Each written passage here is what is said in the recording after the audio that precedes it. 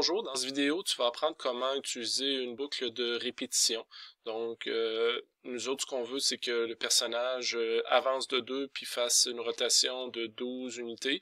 Euh, si on veut qu'il répète plusieurs fois, donc ça serait long de toujours recommencer à, à, refaire les actions et ainsi de suite. Donc, si je recommence au départ, ce qu'on peut faire, c'est d'introduire ce qu'on veut qu'il soit répété à l'intérieur d'une boucle. Donc, présentement, ce qui va se passer, c'est que les actions qui à l'intérieur vont être répétées quatre fois. Donc, si on regarde, donc lorsque je vais cliquer sur le petit bonhomme, il va faire une première rotation, un deuxième déplacement rotation, troisième déplacement rotation et quatrième déplacement rotation. Donc, si je veux changer le nombre de fois, je peux le faire seulement deux fois. Donc, si on part et je clique sur le petit bonhomme, il va faire seulement de répétition. Donc, c'est plus facile d'utiliser ça pour simplifier le programme lorsqu'on veut que quelque chose soit répété plusieurs fois. Amuse-toi bien!